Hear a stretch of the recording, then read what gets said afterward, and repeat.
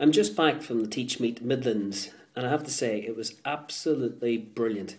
Yes, it's the first day of my half term, but I wouldn't have missed it for anything. It was a great way to share and to listen and to discover new tools and new ways of doing things in the classroom. Teachmeets are a fantastic way to share these ideas. So if there's a teachmeet near you at any time in the future, please put your name down, go along, and just listen. Even better, try to present.